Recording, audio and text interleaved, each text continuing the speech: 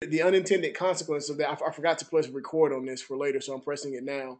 So the unintended consequence of teachers um, teaching everything on the test has been students who look to the classroom um, to be the sole place of learning, and that everything they everything that they're supposed to know and learn will come by a teacher in the, in a classroom. So you're fighting up against that current that's already set, which you've already established. One, have you have you have you ever tried? Um, and you may have in the beginning, and now I know you're kind of in the middle of the class now, making students aware both verbally and also in a written format of what what college, what your expectations are in terms of their roles and your role. That my role as an educator is that I'm going to teach you in class. But what you're going to get in class is only a portion of what you need to go, of what you need to do. Your role is to take what we've done in class and to apply it in the ways that I lay out outside of class. Um, no, that's a very good point. I will do that. I, I tell them they need to do their homework, but I have to also stress that they have to use everything outside of class, you know, to use to build their life. Okay. And I've not, I've noticed that I guess it was last fall, we had the first group of students who were totally taught under No Child Left Behind. Yes. And these students were absolutely the worst I've ever had. they were absolutely the worst. They were not they were not self motivated, they were not self directed, they were not um, I'm not going to blame anything, but I'm just going to say this is a consequence of like, which is what you said. Uh-huh. Instead of um, uh, being uh, dis- teaching decision making, they taught you teach to follow, you teach for the test. Yes. And we need to teach decision making in our elementary, middle, and high schools. So, so one way, so I can get to high schools. I've started working with some high schools more recently and found some really re- receptivity with teachers. I'll talk about that in a minute. But one of the things is um, is helping. So a couple of things. One, if you, if you're taking notes, one one step I would do is to since you're already in the middle of a class, redefine the roles. And okay. Um, okay. if you were in the beginning of the session, I would say you want to define the roles very explicitly in the outset. And here's an analogy, Donna, that may help you um, understand the the value of doing this. Okay. If you, if you think about us in our in relationships, whether it be in marriage or in other kind of relationships, or even in your job, the clearer you know, I know Adrian just started there at MCC. The clearer your the expectations are in terms of I know exactly what you want from me and what exactly I'm supposed to produce. And I know your role from my role. For instance, Adrian has to know where her job duties stop and start from Giletta's duties, where they start and stop, so on and so forth. Then it, it makes it much easier for us to sort of fulfill our duties and our role students, you know, at the heart of the of, of education is a relationship between the educator and the students. And students, just like in our personal relationships, they come with a lot of baggage, and we come with a lot of baggage to that relationship. And so that past is going to influence how they see you as an educator. Not only the past high school experience, but if there are other colleagues at MCC who are teaching in ways that they don't have to do anything outside of class, then they're going to assume that, oh, this is what's expected in your classroom as well. And so you have to be very explicit, both in writing in their syllabus. And when I say in writing in their syllabus, I mean put it in the syllabus, but don't uh, don't leave it for them just to to find it. You have to point it out in the okay. syllabus okay, this part, now this would be in the beginning of the year. You would say, now let's maybe spend a day and go over the syllabus. This is the syllabus. This syllabus is an important document because it's going to lay out the expectations and the outcomes that I have for you and for this course. Now, I don't know if I've worked with you all with syllabus creation, but that's another topic. But it's very, if there's a great book that's called, um, oh, I can't think the name of it now, but I will uh, before we finish. I think it's called Creating Classroom Syllabus uh, by Kathleen. I can't think of her last name, but anyway, um, talks about the importance and the value of creating really effective syll- uh, a syllabi. Uh, so in addition to writing it, you want to point it out because if you don't point it out, students won't find it on the syllabus. They'll just look for the test dates and things like that. And then also you want to tell them verbally in class. Um, and if you even want to go a step further, make them repeat it. My role as an educator is to do what? And your role as a student is to do what? And then let them know up front that this is going to be different. Now, I understand that for 12 or 13 years, this you have probably have not done, you probably have not done much of this. But the, this is what you need to do now. And then the second point, so that's one point, is making it explicit verbally and uh, in written in written language. The second point is to try to connect it back to why it's important. So that's the what they're going to do. The higher order thinking, the next level of understanding is why this is important. And you already hit on it, Donna.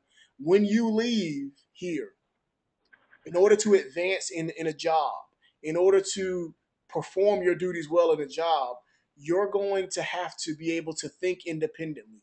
You're going to be able to have to take information in this information age and grapple with it yourself and make decisions. And if I do it all for you, I do you a disservice. Great. Thank you.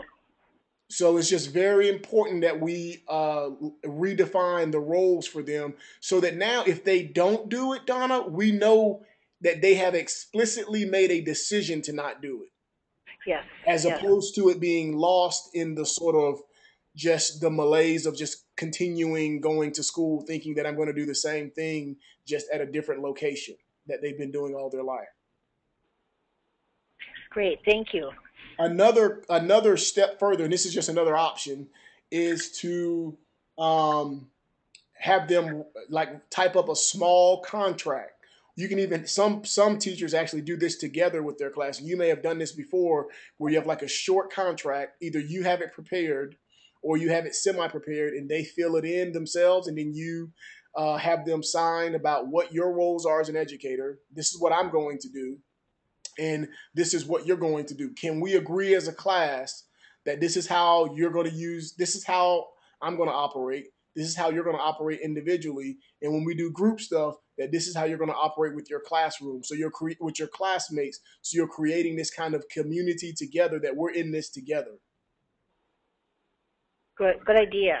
Yeah. So that that that's another option that uh, some folks have used. And the other thing uh, you mentioned is the another step. You can call this step the forewarning. And the forewarning is you simply making them aware that one in in advance, one place where I know that that students typically struggle is finding time in their schedule to do the work outside of class. Um, so I would encourage you up front already to set aside time. It's going to take you X amount of time. I can't tell you the exact number because it's going to depend on, you know, where you are in, in the learning curve. However, it is going to take time outside of class. So it's going to be very important that you set this outside of class. So that's the next one. The next option is forewarning. And then finally, I would say another option is what I would call the reminder and the reminder will be simply reminding them why they're there. You're here because you want to be at a higher level. You don't want to do the same thing. You obviously have high aspirations of yourself. You have goals for yourself because a lot of people aren't where you are. Some people just go to high school, some people don't finish high school. Here you are continuing on. So, because you have those aspirations, you need to make it a priority to uh, to set set time, um, set, set aside time to meet your goals. And I always emphasize that last part that these are your goals. So you help help transfer that ownership that you're not you're not doing this for me. You're doing this for you, your family, your future, whatever it is may be. Um, so that's another uh, way you want to remind them of that. Great, thank you.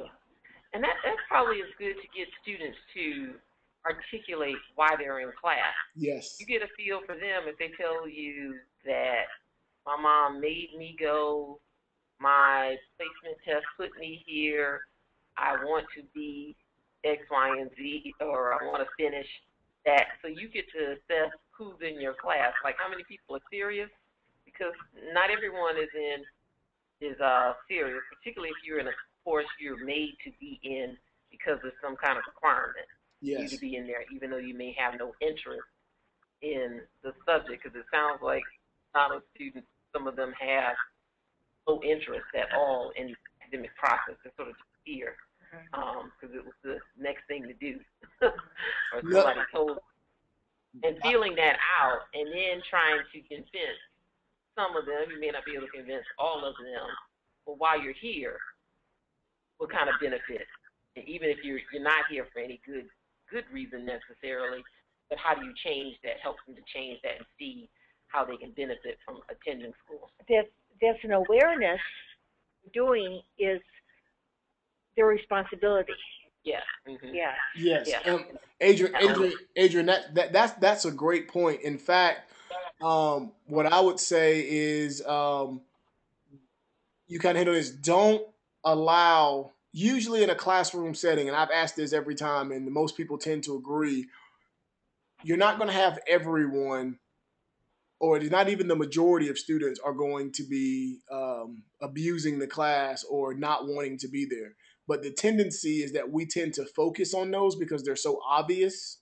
Mm-hmm. And so it's important to try to make sure that you keep it in perspective that, you know, if I have a class of 30 and I have, you know, five students who don't do anything, don't show up for everything, and they seem to consume the most of my, you know, they seem to draw the most negative energy from me that you know what there's another 20 students or 25 students who are at least moderately to maybe highly interested in what I'm doing.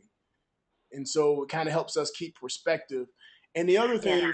is even with those five students or so who aren't as interested, you know, one of one of the beauties about education is that you never know when students have a turnaround moment you know, I don't think I shared much when I was there, but I remember when I was when I went to college, I was actually I was a uh, student athlete, and I identified solely as an athlete in college. Um, I was the first in my family to go to college. I never really uh, considered uh, myself as a student necessarily. I consider myself as a football player who was in college, and I sat in classes as my, my early years in college with my headphones on, with a hoodie on, sitting in the back of the class, making everyone know that I was not going to be going to participate in that class. But you know, over time, the environment and certain professors, uh, they made an impact on me. And I give you one quick story. I don't want to take up the time sharing my story, but I think this may be maybe encouraging and inspiring about the impact that that you probably have on your students that you may not know about. But uh, Professor William Monty, who actually just passed away uh, last year, he invited me to be a part of this leadership program. Um, and as part of the program, you had to take you had to take a um, like a uh, great books reading course, and it was with all these students who were you know grad- graduating top of the class, and I was kind of middle of the road student. Um, and he asked me to be a part of it. And at first, I just planned on not going because I'm thinking that's not me. I came here to play football. I'm not going to do all this other stuff. And um, just somehow, maybe maybe Providence or something, I ended up um, going on this trip that they invited me to go on. And from there, I ended up enrolling into this great books class, which I was the only African American, and I was the only, uh, and I was the uh, definitely the oddball in the sense that all these people were graduating top of the class, and I was kind of middle of the road, maybe slightly above middle of the road. And um, I ended up really making a turnaround in that class. I ended up making the dean's list and going on to grad school and making, you know, pretty much straight A's throughout grad school and kind of going on the, the path I've been on now. But had that not happened, I, I don't know if that, if Professor Monty realized the impact that he had at that time but that simple thing of keeping the door open, so to speak, and not sort of giving up on me because my attitude, I probably deserve to be given up on, to be honest, but it made a big difference. So never underestimate your power and your influence, even over those students who are at the bottom. But at the same time, don't let those students who are, when I say at the bottom, though, I mean those who are not willing or seeming to be be responsive to uh, to the educational environment, don't let them pull you down at the same time. Oh, yes, that's great. That's, yes, because we tend to focus on those few. Negative. Yes, thank you.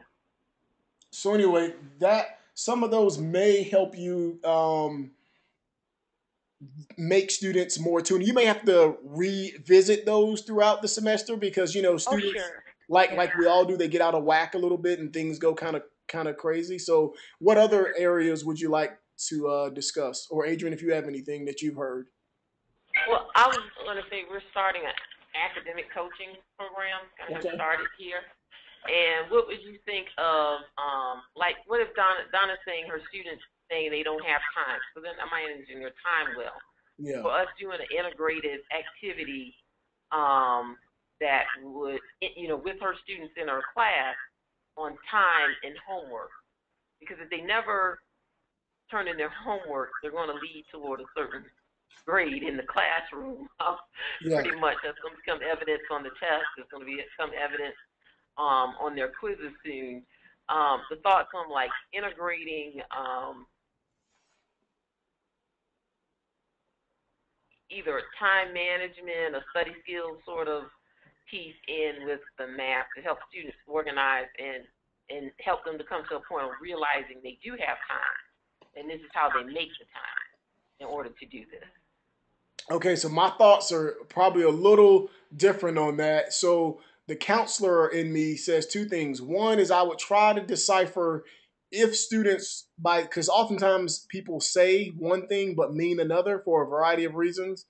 And so I would try to figure out if they really are saying they don't have time because they believe they don't have time, or if they're saying they don't have time as sort of another way of saying that I tried to do the work, it took too much time, therefore I don't have time. Don't have time. Don't. Yeah, I don't want. I just don't want. Don't want to do it.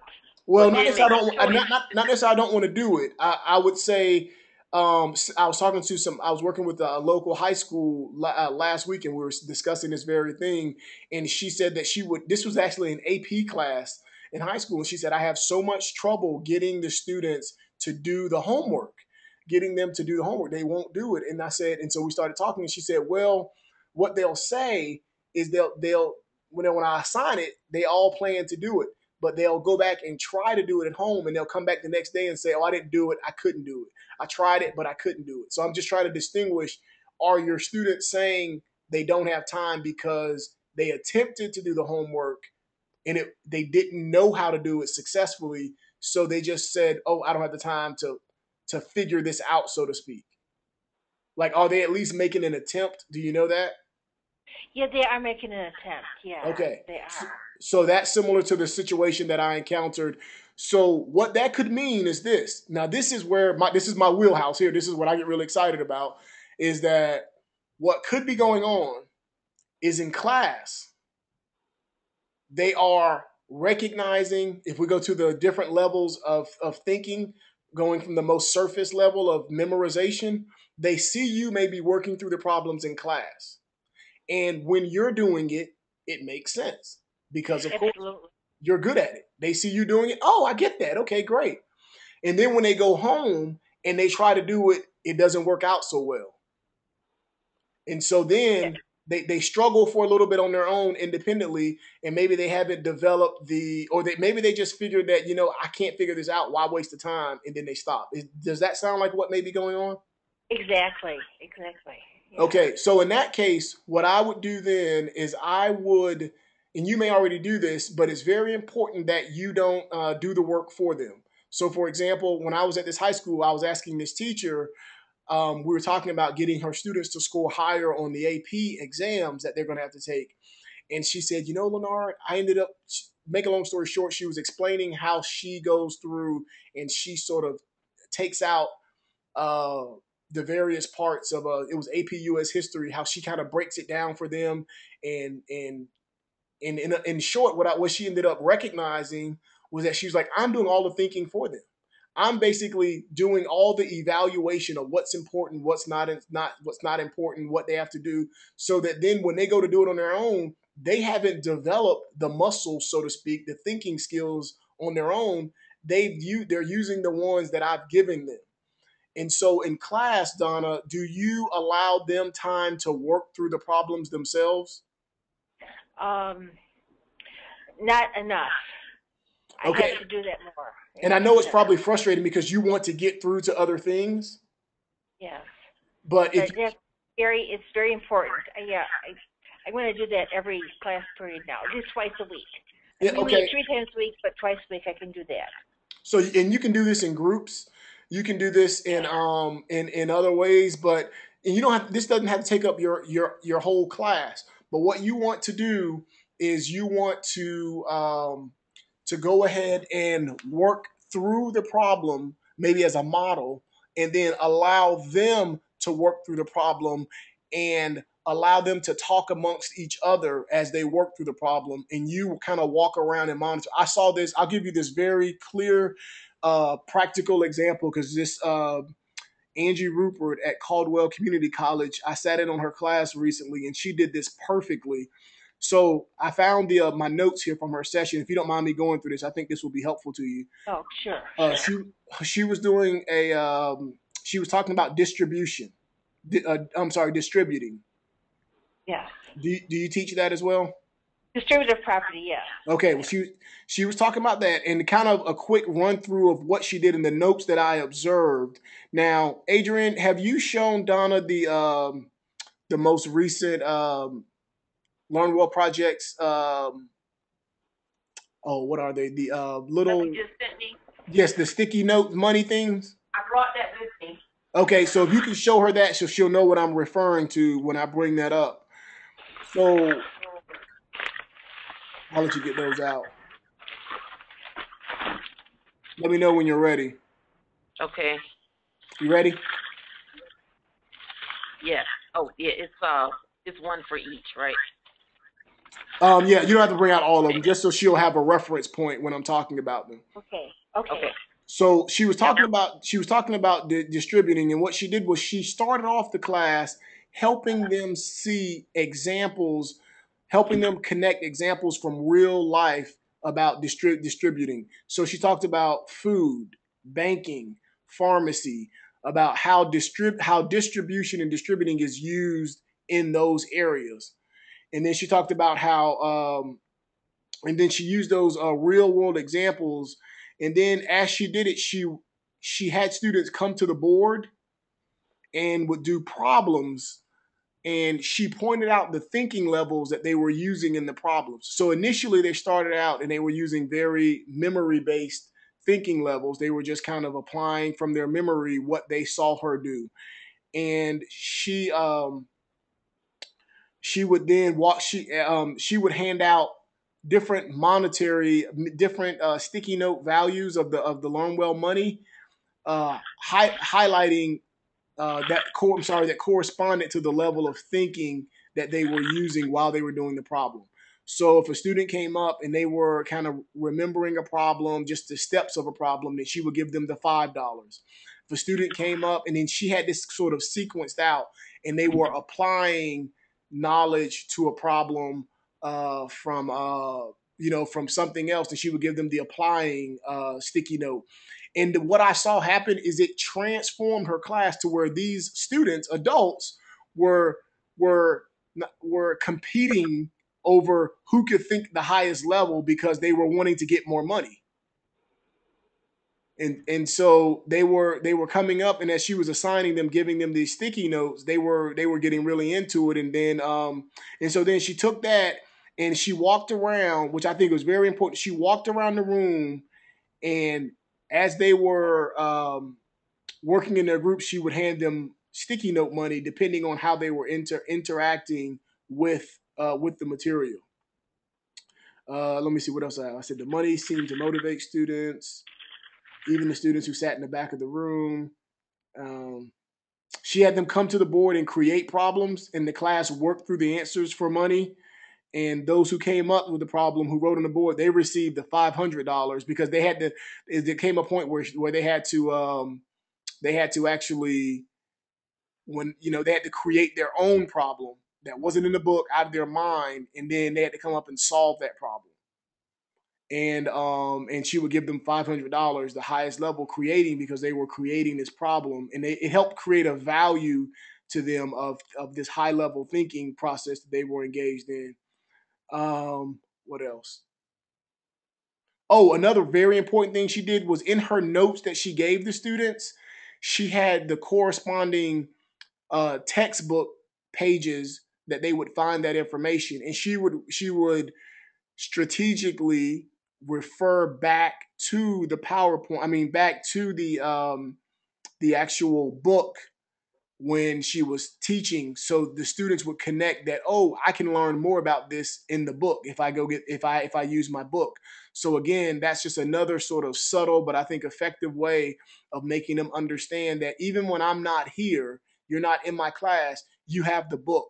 The book can be a useful resource to you. So she essentially um, had them use their book in classroom with her versus that's you don't use it. Oftentimes, you may not use the book in classroom, but you're using the book at home, and then they really hadn't read or cracked it open yeah. good and all of that. Okay. Yeah. Adrian, I'm glad you brought that up because actually, the professor that I was talking about at my institution, one of the things that started us talking was was he was saying that his students don't use the textbooks, and if you look at my last article, he actually posted some questions on there, and we were talking about okay. the questions. But one of the things that I told him is the reason students, when I meet with students, one of the primary reasons students don't use textbooks, I'm glad you brought that up, Adrian, is because if they don't see the professor using the textbooks, then they assume that they don't need to use the textbooks. Because they figure that, hey, if I've had students say oftentimes, they'll say, oh, I'll say, well, do you use your book? And they'll say just matter of factly, oh, we don't need the book in my class. My professor doesn't use the book. And I'll say, but did your professor have a book in the syllabus that you're supposed to get? Oh yeah, but but you know she or he never uses it, so we don't need it. And I'll have to tell them. I'll say, well, the book is a resource for you, not for your professor. Your professor uses the book probably outside of class, preparing for class, has used the book for a number of years, so that book is in their head. However, the book is a tool for you. And every time I say that and just make that very explicit for students, they always look at me like, really? I never really realized that. Yeah, I I have I tell my students sometimes to read their math book out loud. Okay.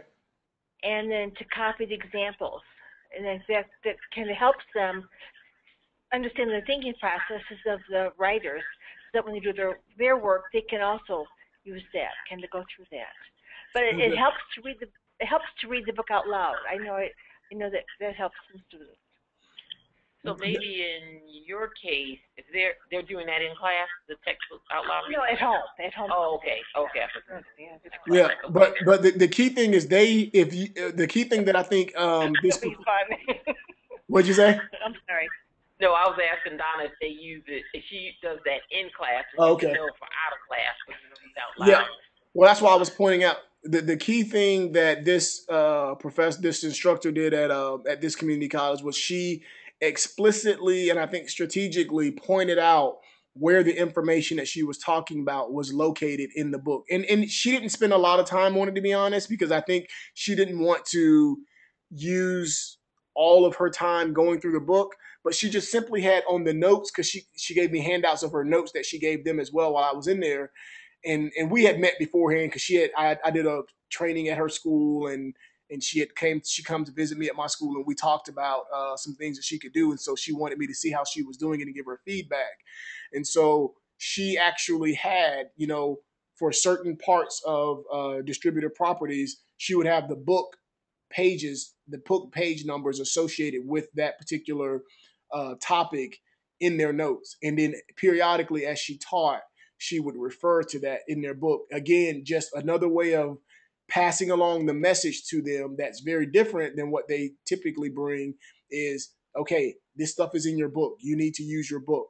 So it's a subtle way of doing that. Then she um um let me see. She had students stand oh she had students one thing she did i thought was really useful she had students stand up and physically move uh to grouping to groups and then she had them sort of she sorted them like by color. She had another student sort them by color, by type, by all these other things. And she used that in her lesson. So she created this sort of experiment in her room to help them see how they're already sorting things and how a lot of times in, dis- in distributive properties you're sorting and how you how you are kind of can use those same principles and practices that you're using already you can use that in this class as well uh, what else did she do here in my notes um, she she discouraged her students from guessing which i thought but she did it in a very positive way.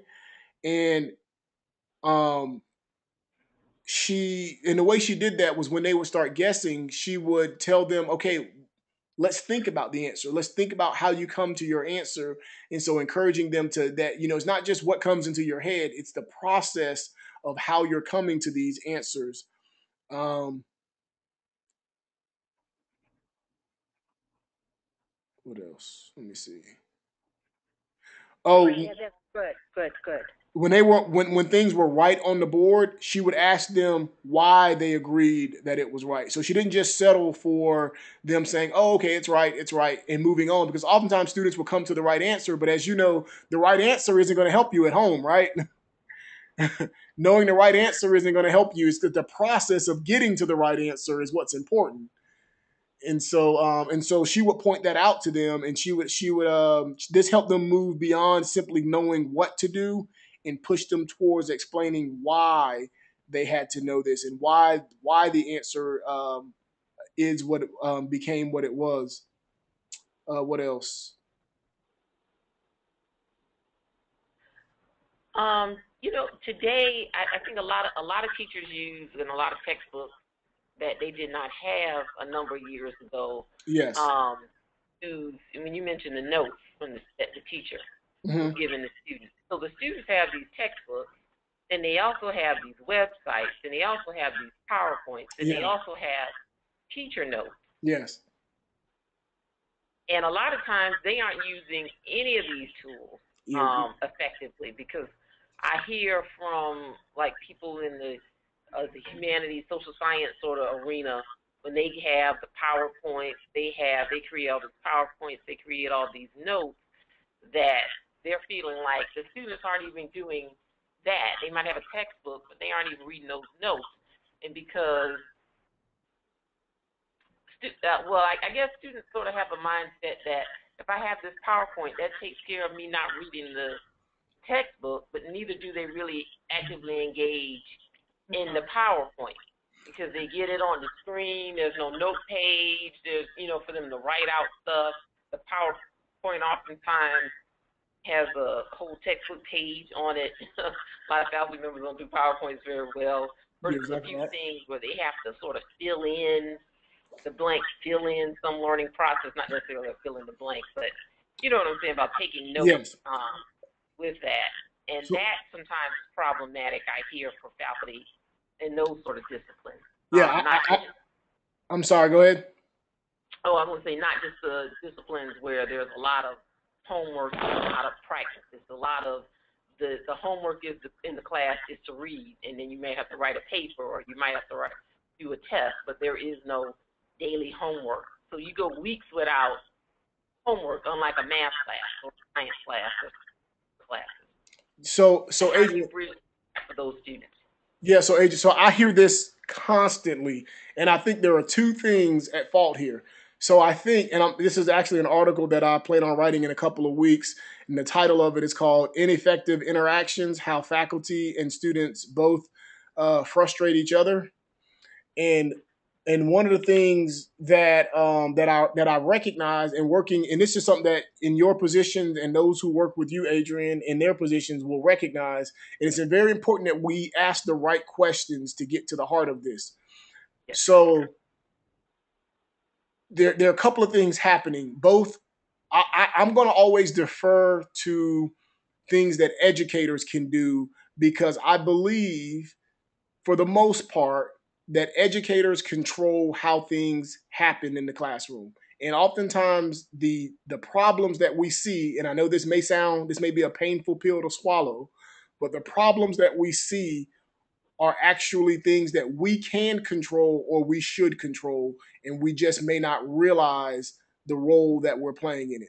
So that that can be uncomforting sometimes, but if people allow that kind of pill to, to if they swallow that pill, it can be very empowering because if you believe the students are the problem, then you're hopeless because you can't change the students. Mm-hmm. But if but if you if we begin to see how we have agency, how we can control some things, then we can uh, take more responsibility and then we can actually control the dynamics. It's the whole locus of control situation. If I believe I control things, then I have an internal locus of control and I have more power. If I believe that externally something else is controlling things, well, then I feel powerless, which is how a lot of educators feel. And I think they don't need to feel that way. So, saying that, here are a couple things that I think that educators unknowingly do wrong in those classes you're mentioning, and I've, I've observed this several times. One,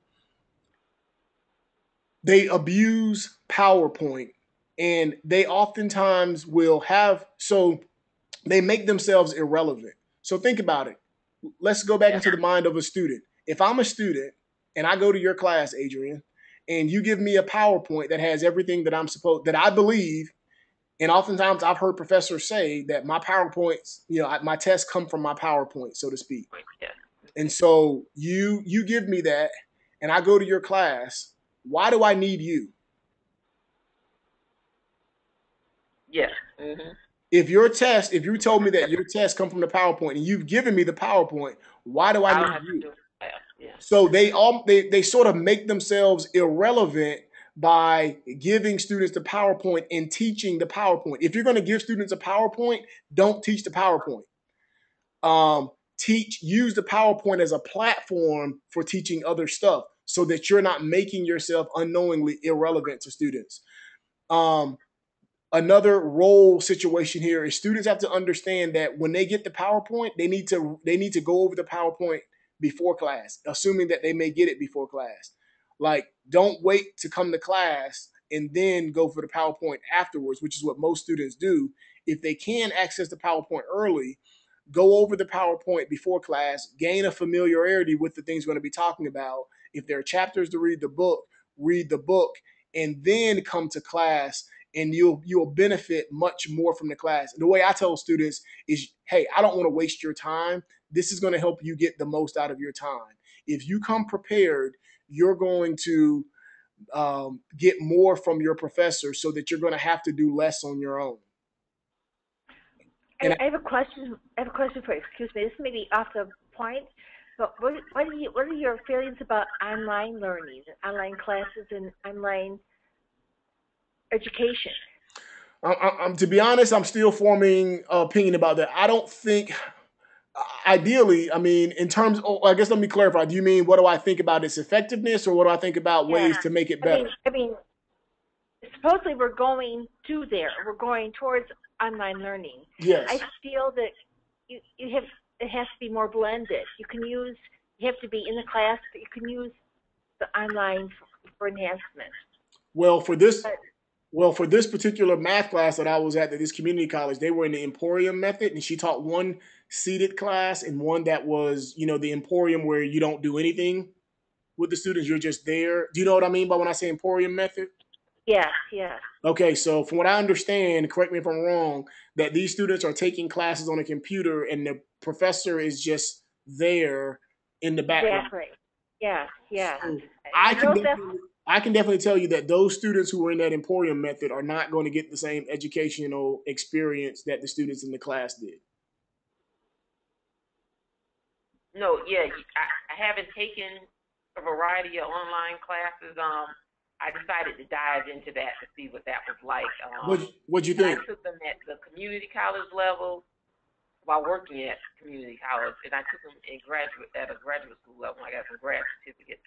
Um, online is just like face to face, different modes of instruction, different involvement, different interactions. So it's not a one size fit all in how people teach online um, class classes. But one thing I can say as an online student, I actually do like it um, because of its convenience. Mm-hmm. Like I would not want the online for me. I would not want the online class that would make me act like I'm a face-to-face student. Yeah. I gotta dial in at that, and that's so you wanted a, so you wanted asynchronous. So you want an asynchronous class? Yes. Um, however, online is not for many students because not many students are ready to manage and understand the time. People don't do it well in the face-to-face setting. Um, they a lot of them really don't do it well in the online format because you, you're not. It's not less work. By no means is online less work at all. It almost feels like less work because there is no teacher standing in front of you. Mm-hmm. You need to put the FaceTime, what you would have put in the FaceTime, plus what you would have put in your homework like you were going to class. And a lot of people don't see online as that. And therefore they don't manage their time the same in order to do it for many online courses. Um, so, so Adrian, you bring you bring up a great point because someone like you, highly intelligent, educated, self-motivated, have no problem with online. Someone like me, in fact, I may prefer an online class for the very reasons you mentioned. My wife currently actually is in an online master's program and she's gotten hundreds in every every class she's taken so far. Um, and she's learned a lot from the process. I, I can definitely say that she's grown, she's learned, she's gotten a lot of the benefits, maybe even same as she would have gotten if she was if she was actually going to a seated class. But I do agree with what both of you are saying but for other students who may not be as yet in their life, they may get here, but they may not be as self motivated. They may not be as metacognitively aware to be able to navigate their own thinking and learning. Yeah. I think online could be very intimidating and could be very um, um, could, could be a not, big failure. Yeah, could not be a big match for them. Failure. Yeah. yeah. Because no matter most students, I mean, it's it's a rare student that at some point does not get lazy during the yes. semester. or whatever the term is, yeah. at some point you get a little tired. Yes. And you slack off. But it's how do you get back up on your game um, that a lot of people don't know how to do. Because in one of my online classes, I decided I didn't. It was the homework was overwhelming. Mm-hmm. Uh, it was it was actually one of the community college classes. Uh-huh. And I said, I don't need to do all this homework. I can accomplish, you know, I can accomplish these tests. I started cutting out doing the homework. If I was going to take something on, I looked at my little points and see where was that going to have the least impact, and I took it off the homework. I did not do all of them. What I went, but but I had that skill. I went for going to do some medium, easy, and challenging homework questions, but I had the skill to pick those out.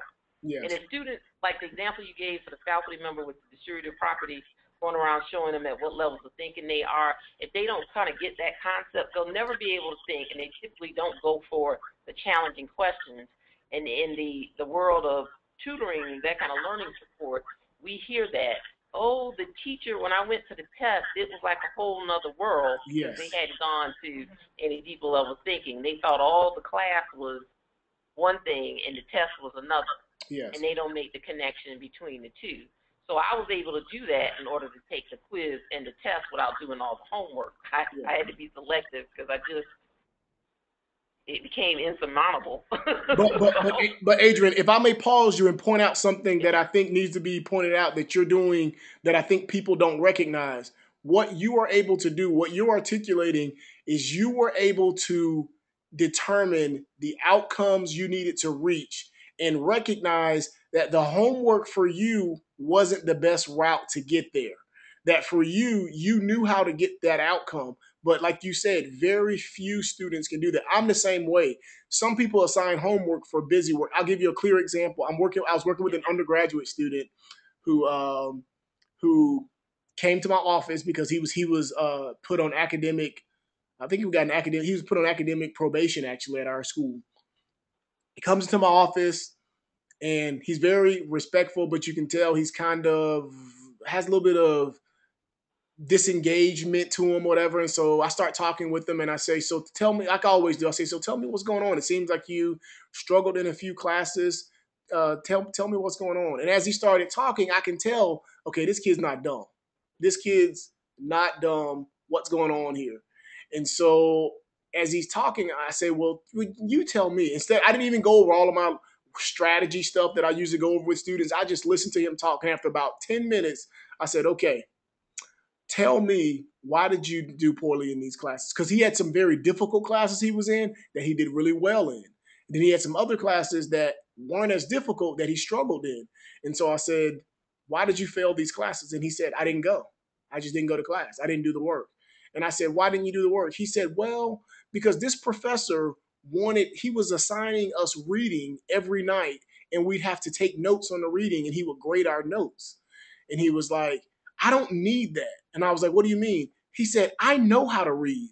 I can comprehend my stuff. And he, he figured out that this was for, this was a tool to get students who were less likely to read, to get them sort of to hold them accountable for reading.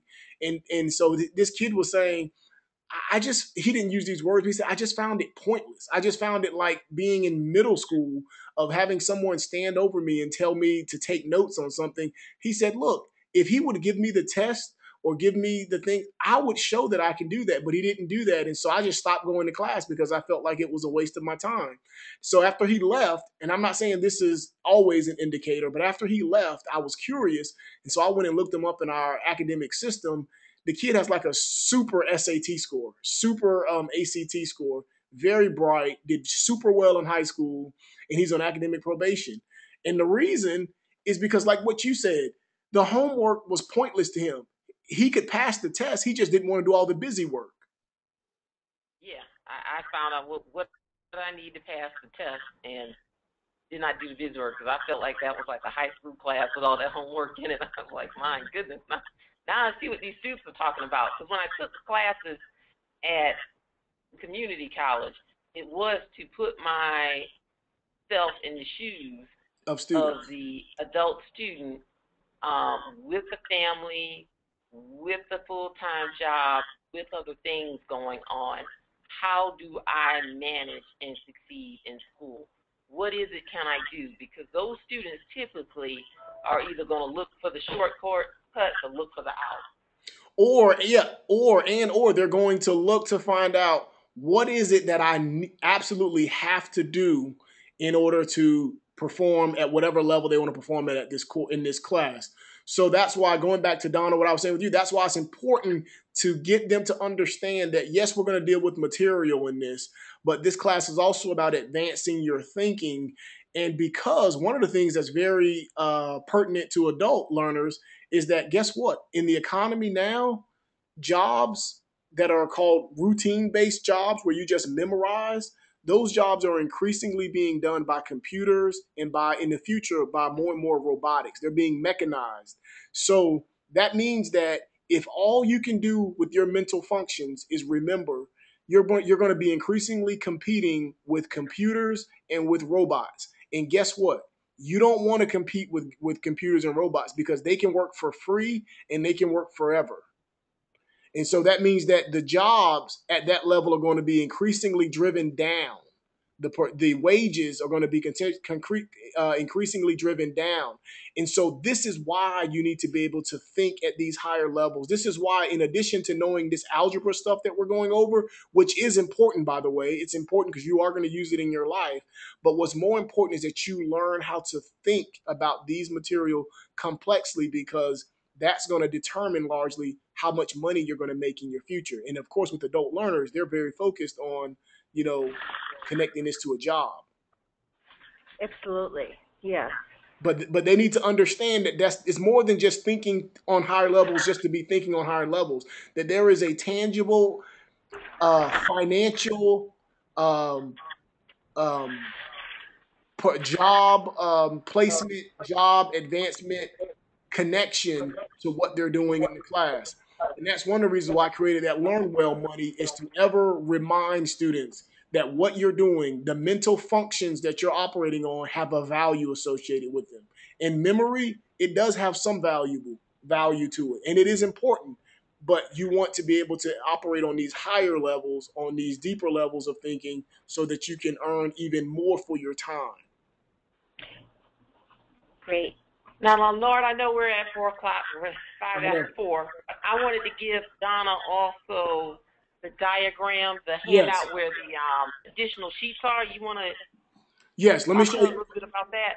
Let me show you how how you would use that. Let me let me get out of this screen here and go to this other thing.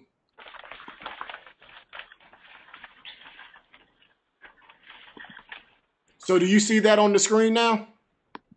Uh, no, our screen went out. Your screen went out. Yeah. Just press, you press the button, it'll come back. It went. It went to sleep. Um, it did a ding, so I was figuring did it close out? Uh, Oh, shoot, yeah. How's it going now? Did the meeting end? Okay, There we go. All right, now we're Okay, back up. great. Okay. Yes, this, we got it. Oh, you see it? Okay. Do you see the outcome variation activity? Yes. Okay, so so what you have in front of you is a recent document that I created to um, to help educate. Actually, a high school teacher sh- started doing this, and so I I uh, saw her using it, and I said, "Man, this could be very useful." And so I did a session at her school, and then she adopted this. And so this is a way to get students to do things on their own, in addition to doing the work, helping them develop that metacognitive um, thinking ability, which is just as important as the content. In fact, research has shown that students who are more metacognitively aware will perform better on academic tasks. And you can tell your students this that um, employees who are more metacognitively aware will advance further and faster in their career than those who are not. And it makes sense because metacognition is about understanding the goal that you have to reach and understanding where you are in the continuum of reaching that goal and how to navigate your way to it most efficiently. So if you think about in a job setting, the more you understand what your job is about and what's truly valuable about your job and what it is that you're supposed to be doing, and then the more accurately you can assess where you are in doing that, then the more likely you are to meet goals that supervisors or the organization has laid out and the more successful you're going to be. So again, this isn't just school stuff like students tend to think of it, but this is real has real practical, you know, implications throughout throughout their lives. So um so let's look at this document over here at the you what you have is you have six levels of interaction. Let me bring my little tool up here so I can point around. Where is it?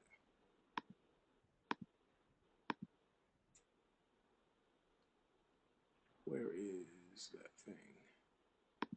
There is a person that's moving around. Yeah, I'm trying to find. I'm trying to color the cursor, but I don't see Oh, the okay. option to do that on here. So uh, I may just have to use the cursor here. So, um, all right. So up, maybe I can use a color up here. So um, in this area up here, where I'm where I'm kind of cursoring around up here, this is where you can put the content. So, for example, if you were talking about uh, what, what's a topic, Donna, that you might be talking about uh, in your classes coming up soon? Okay, we've got um, solving solving rational equations. Okay, so solving rational equations, you can put that here, and maybe if there's some specific steps or something, components to it, you can put that in this content area. Over here to, to the right of the screen where it says resources, that is something where you can then put the, the resources that they're going to use. This is them constructing their knowledge. You might put the textbook, uh, you might put a specific part of the textbook, you might put notes, whatever it may Or, be. hand, or handouts or Or, something. yes, yes, you want to just list those over there so they understand that that this is the content over here on the left that we're dealing with, and these are the resources that you can use to build your knowledge about this content. And this is the first level, remembering, and you have six different levels that progressively go up from remembering all the way to creating. And so the idea behind this is to get students to understand when they're operating at various thinking levels and then when they're how to change and transition to higher levels of thinking. So briefly, if you look over here where it says think well, learn well, interaction level, this is just goes along with the diagram and it just says the uh, the metacognitive learning goal. This is for the remembering level, and then the Bloom's higher order thinking skills, and then the corresponding learning outcome. And so, just uh, you'll kind of, I'm assuming that you kind of go over the diagram with them, help them understand the diagram, and then this is for them to actually do work here. Student directed plan for success. So this is what this is how you can help them direct their own learning. So the planning part. What are you attempting to do with the information you're studying? Okay, so this is where they need to make a plan. Think about it. Um, what was our topic again, Donna? solving rational equations. Okay, so it might be simply something as, um, okay, so we're gonna in the content section is solving rational equations. So on a remembering level, my simple thing might be, do I know, um, do I know what rational equations are? Do I know? Can I can I define what a rational equation is? Okay. Good. And Right. then, so here they might write, okay, so I am, uh, I'm going to define rational equations. Then the next level, they or you, whoever's working them through this, could then say, okay, uh, monitoring. What level are you thinking on? Okay, so what level am I thinking? I'm thinking about rational equations now as I, I'm reading my book. I just didn't want to pay attention and become aware of how I'm thinking about it. And then at the end, which is the most important part that uh, they talk about students who are successful learners, they can accurately evaluate the outcome that they've reached. So at the end of that process, what do I know now? Okay, I know that rational um, equations are blah, blah, blah, blah, blah. Okay? Okay. So they have a good. definition. Then you switch down to the next uh, level, uh, which would be um, um, understanding. Do I have that on there? Man, hold on, let me let me bring that up here.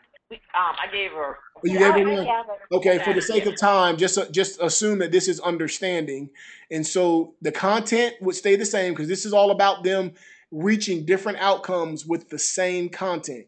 It's helping them understand that if I think about this content one way, I could remember it, but I can also think about the same content and begin to understand it, so on and so forth. So now down here, what are you attempting to do in the planning part? Okay, now I need to understand why rational equations are important. Okay, I need to understand it. So I'm going to maybe read the book. My plan is I'm going to read the book. I'm going to look at the notes, but my plan is to figure out why rational equations are important. Now, this is much different from just knowing what they are. This is another component, another dimension of my learning that's figuring out why they're important. Okay, so then I'm going to monitor along the way. Okay, what level am I thinking on? Am I still trying to figure out what rational equations are? Because that would be remembering, but now I'm on understanding, or am I trying to figure out why rational equations are important or why a certain step is important in figuring out rational equations? However, it is you kind of control how they do that. And then at the end of that interaction, you can do this in class possibly. What do I know now? Do I know why rational equations are important? Do I know why I might use this? Do I know um, why this step, whatever, however it is you're um, interacting with them, why this step is important? So you go through that sequence with them, helping them understand that they're now grappling with the same information, but they're very deliberately changing their metacognitive and their thinking level to reach different outcomes. And so it's just continuously using that planning, monitoring, and evaluating. And then as they go down, now let's say, you know, over I don't know how long you envision doing this, but um, but at some point they're going to get down to where they can maybe analyze different types of rational equations one from another. Okay. Right. So when they do that, now they're all the way down to analyzing, you know, um, which is a very deep level of thinking. And so it's important that they understand how they have advanced their thinking and um, and kind of where that's led them. And now they'll be able to reach different outcomes. And so, do you do you get the point in kind of how to use this document? Yes, I do. Thank you. Yes.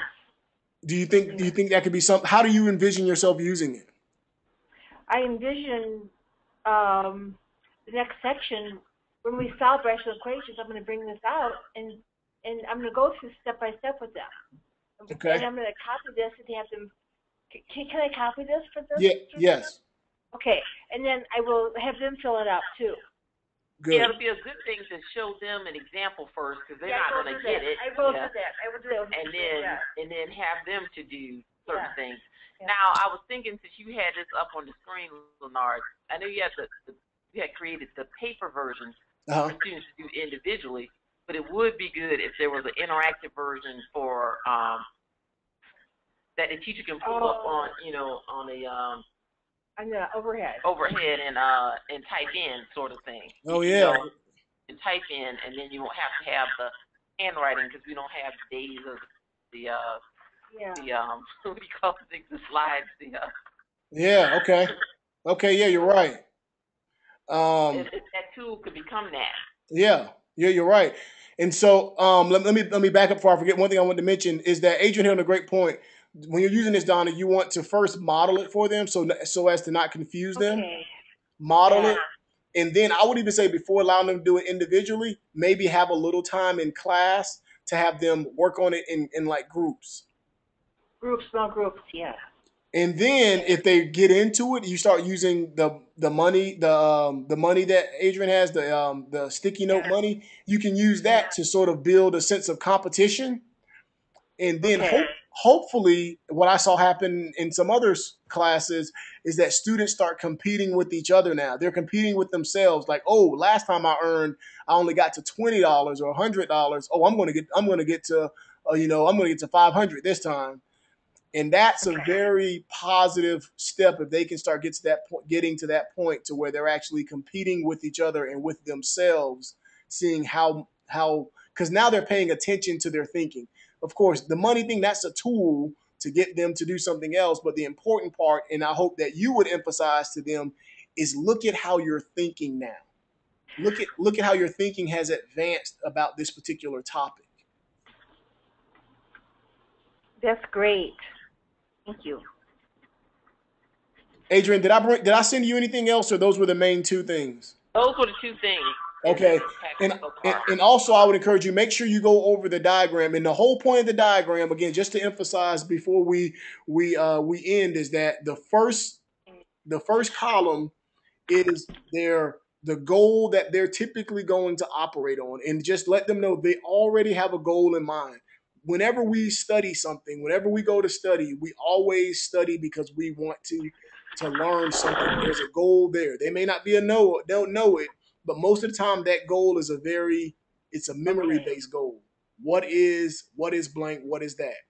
In math, it might be, you know, do I know the steps for this? Can I identify the steps of this? And then that goal, whatever goal they have, is going to automatically trigger a type of thinking. And that type of thinking is going to happen regardless because it's all dependent upon the goal. But they need to know that however they think about that material, it's going to lead to certain outcomes. And the challenge for students is that when they get into courses like yours and memory and simply remembering um, lower level outcomes, the tests aren't testing for that, then that's when students struggle because they feel like what like Adrian said, well, what I studied or what we went over in class wasn't on the test. And that's usually because the test is asking them for something much deeper. And the way they have to do that is they have to change their goal.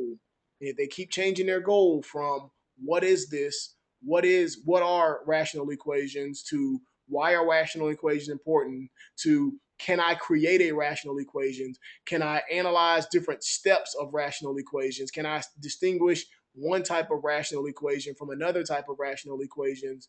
Then that might be, um, then that's a much more uh, useful way of, uh, of learning.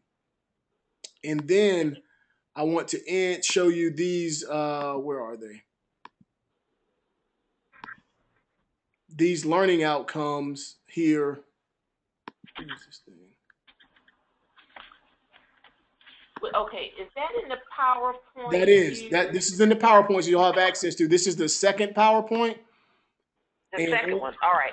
And then can how do- how do we, how can I share that with people? Um, all you have to do is you have access to the uh, wiki, so you can just download them from the wiki, Uh huh. and then you can just send them out to them Okay. Okay. in an email format. But I just want to bring this up because this is the same thing. So this is just imagine. Um, just to, I want to make sure I'm very explicit with this. There's a huge difference between a student who is asking themselves again this metacognitive question that they often aren't aware of that's that's triggering their thinking. Can I list the four ways to factor polynomials from that's level one? That student is very different from the student who's asking the question, can I distinguish when I when I would use each factoring method?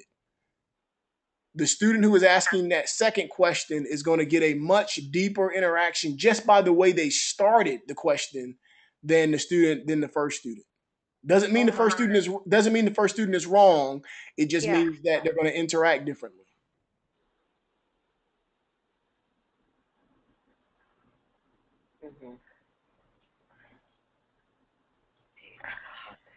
Very good. Thank you. Thank you. Okay, so now I wanted to ask. I, I know we just have one teacher in here, Mhm. Donna. While you're on the phone, Yes. um, like this level of interaction that we have was different from all other all other levels of interaction with Leonard.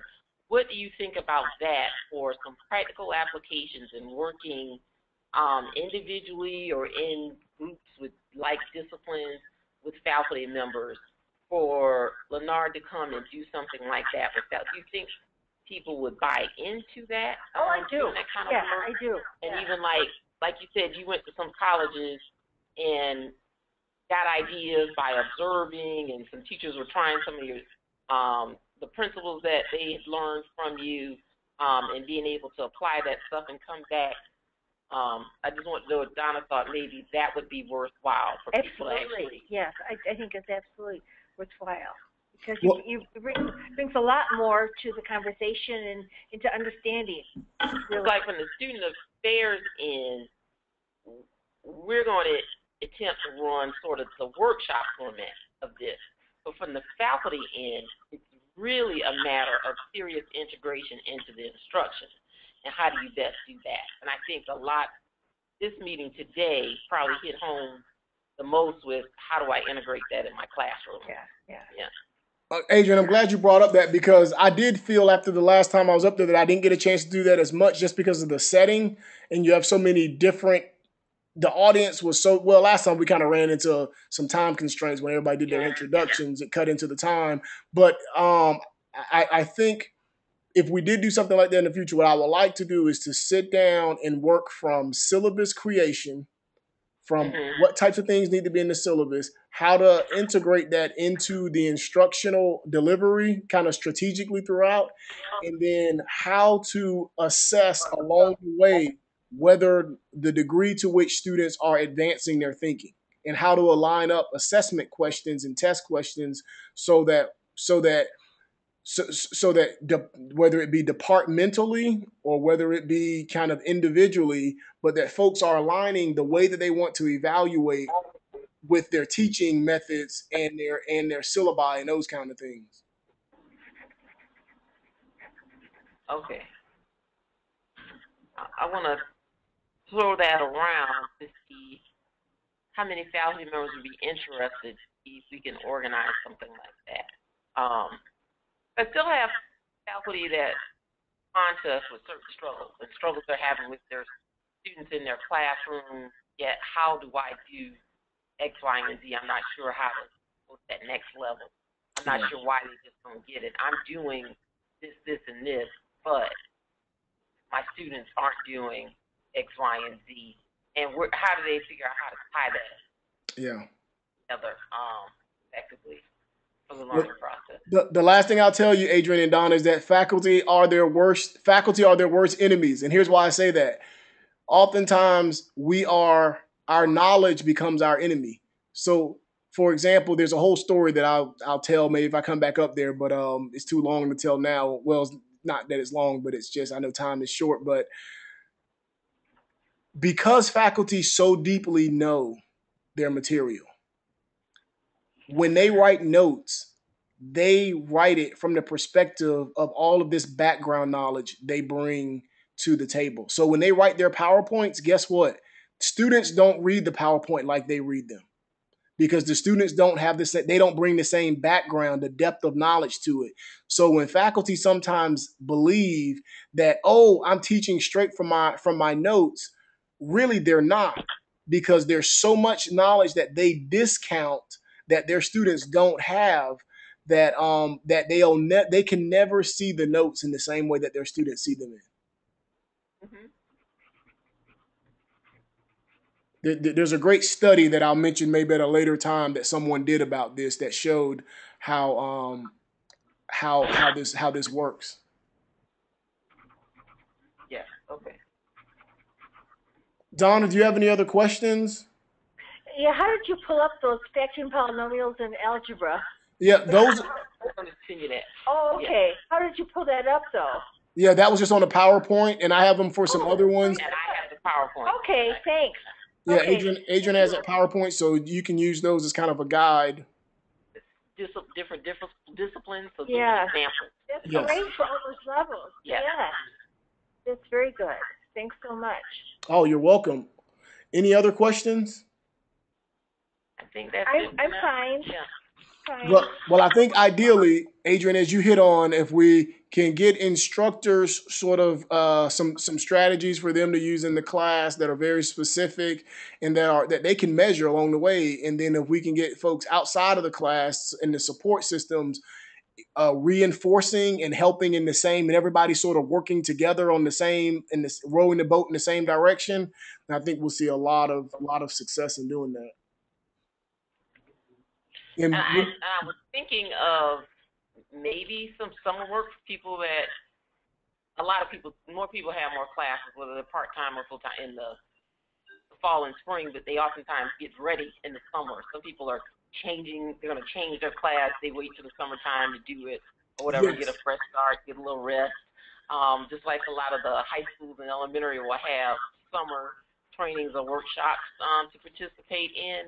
And our college and career readiness does a um um I think it's with the Common Core standards, but they do some kind of summer um workshop and training um for the high school teachers yes. too. And a lot of faculty and staff from here participate in that. Um, maybe turning it into an event for our faculty. I'm gonna talk with Tony and Laura and them.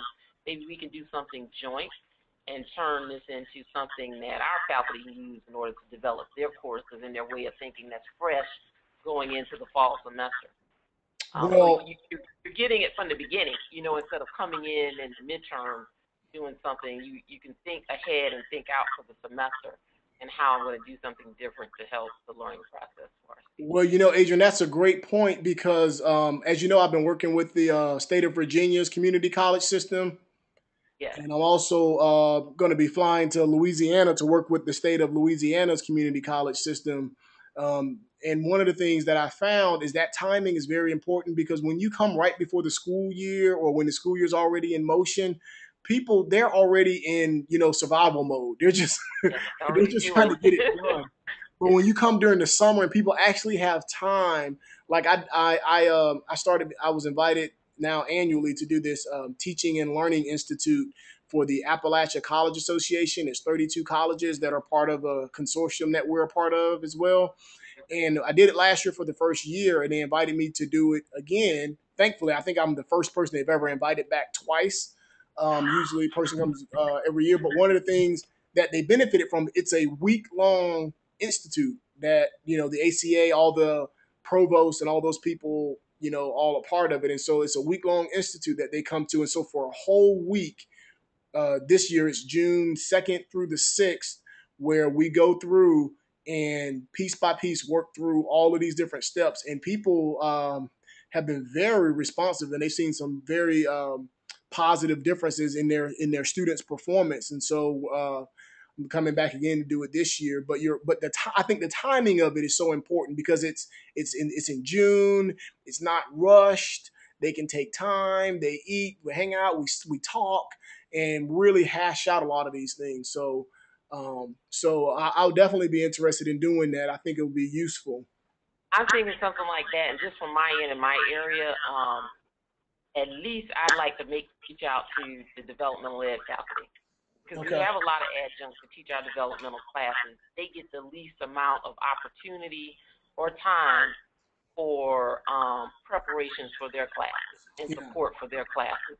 Yet we have some of the um, media students. They're moving on into college level credit classes.